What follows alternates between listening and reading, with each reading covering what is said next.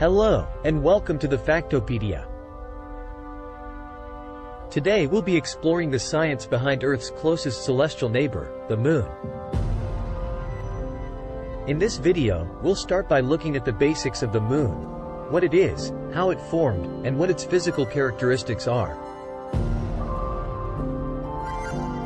We'll then delve deeper into some of the science behind the Moon, including its gravity. Its role in tides, and its effects on Earth's atmosphere. Finally, we'll explore some of the ongoing research and exploration efforts aimed at furthering our understanding of this fascinating celestial body. So, let's get started.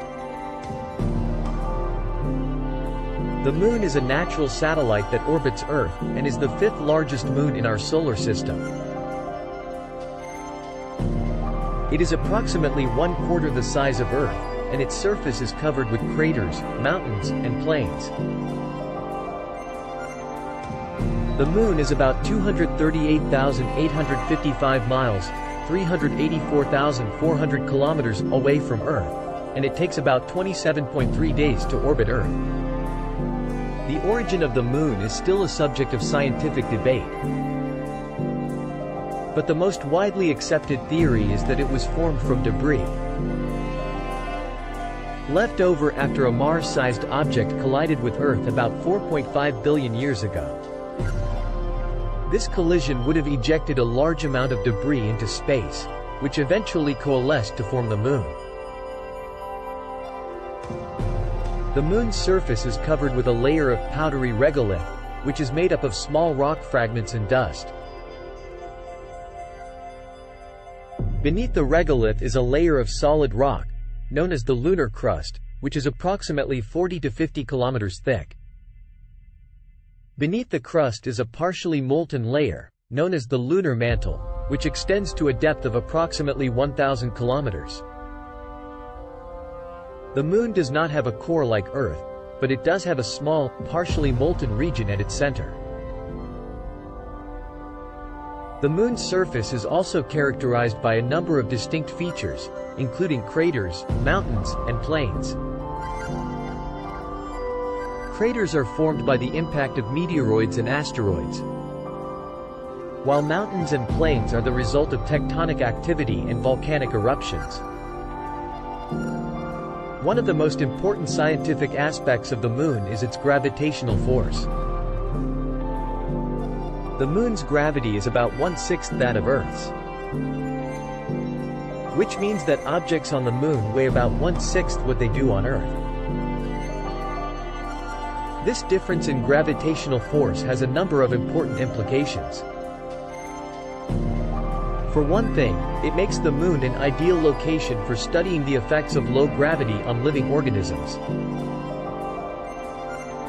Scientists have conducted a number of experiments on the moon using plants, animals, and even human subjects, in order to better understand how low gravity affects biological systems. The moon's gravity also plays a role in the tides on Earth. The gravitational pull of the moon on Earth's oceans creates a bulge of water on the side of Earth that faces the moon, as well as a bulge on the opposite side of Earth. This creates a cycle of high and low tides that repeats approximately every 12 hours and 25 minutes. The moon's gravity also has a significant impact on Earth's atmosphere.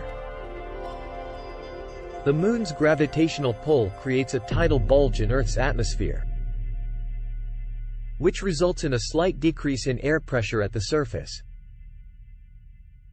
This decrease in air pressure can lead to changes in weather patterns, particularly in areas near the coast, where the tides are strongest. In addition to its effects on tides and weather, the moon's gravity also affects the rotation of Earth. The gravitational pull of the moon creates a torque on Earth, which slows down its rotation over time. This effect is known as tidal braking, and it causes the length of a day on Earth to increase by about 1.5 milliseconds per century. Exploration of the moon has been a major focus of space exploration since the 1960s. The first human landing on the moon occurred in 1969. When NASA's Apollo 11 mission successfully landed astronauts Neil Armstrong and Edwin Buzz Aldrin on the lunar surface. Since then, a number of other missions have been sent to the moon, including several robotic missions and additional manned missions as part of the Apollo program.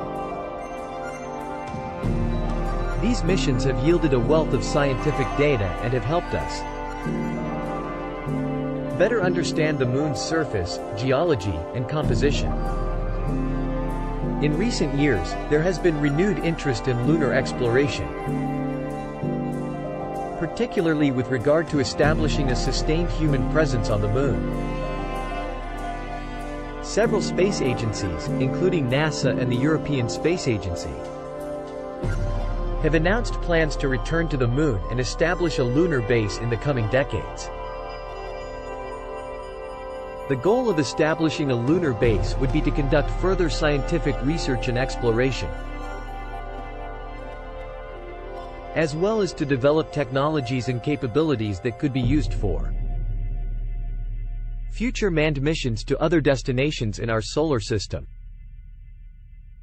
Area of ongoing research is the study of water on the moon. While the moon was once thought to be completely dry, Recent discoveries have revealed the presence of water molecules on its surface.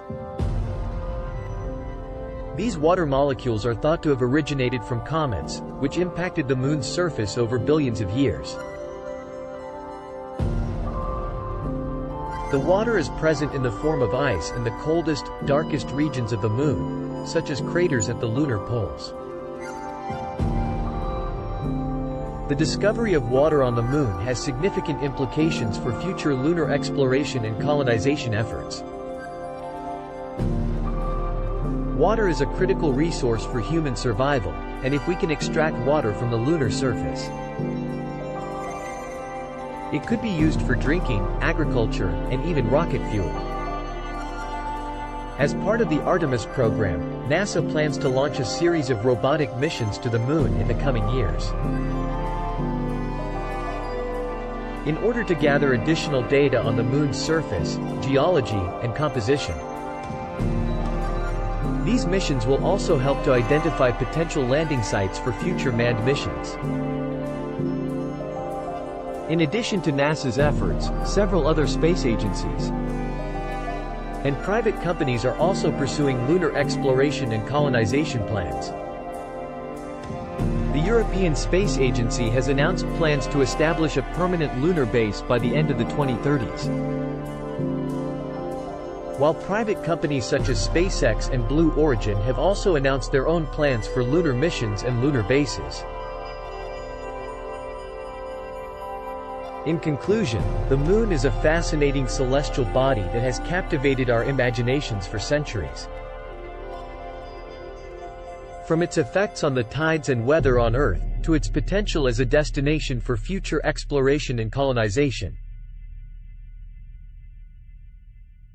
The Moon continues to be a subject of ongoing scientific research and discovery.